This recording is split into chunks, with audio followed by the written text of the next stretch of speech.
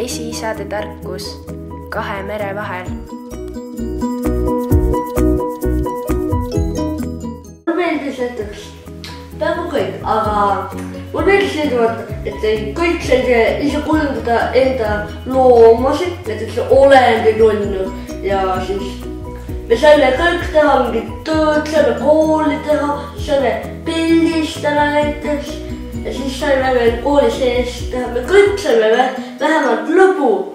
vorsti kõige parem päev, kui kõik koletusi hakkasime tegema. juhendajana suunasin õpilasi mõtlema ja koos arutama ning lõpuks aitasin neil tulemust teostada. sügisel hakkasime tegema ja lõpetasime millal? märtsis, märts. iga nädal ainult ühe korra tegime. See võiks olla iga päev. kokkuvõttes siis oli väga lühike. kuidas teile tulemus meeldis, see, mis lõpuks suured kokku panid? meeldis.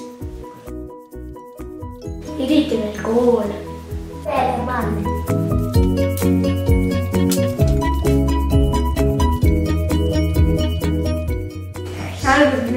pilte. ja, ja siis me kõik olime näitlejad ka. kus me kõik liigume.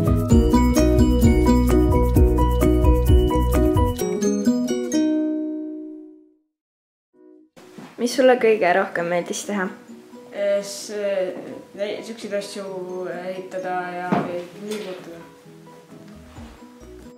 mulle meeldis maastike juures nukke teha.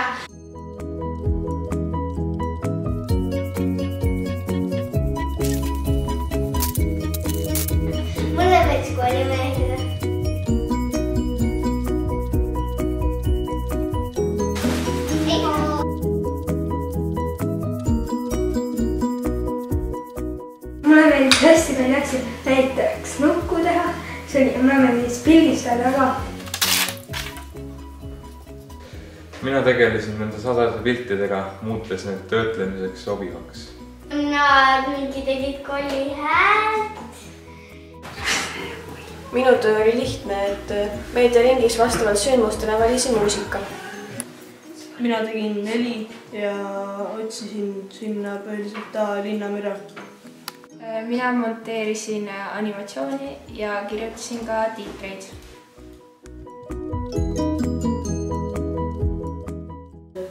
aga kui ta läheb seljast läbi, ta kukub ja kukub ja kukub. oleme sõbrad. okei okay,, Monika. mis meist nii saab? See on siin minu klass ja me käime kõik kolmandas klassis. mina olen Triin. meie klass on hästi tubli. aga mis meist siis saab, kui me pole enam nii tublid, mis siis saab, kui Kriim hakkab tunni ajal kummitust mängima? Lauri hakkab ärikaks ja Tauri temalt telefoni pihta paneb. tunni ajal me sööksime ja jookseksime ringi. kui ma sutin enda õpikut ja Roland sööks ainult rämpstoitu, mis meist nii saab? Kuigi ei sorteeriks me üldse. ma arvan, et me muutuksime kollideks ja maailma hakkaks valitsema ühesilmaline plägakoll. plägakoll nägi, et maailm on korra lagedusepesa ja lapsed olid kollid. prügikolli maailmas veerevad kõik lapsed hommikul kooli poole kohale. sinna, kuhu kollid kogunevad.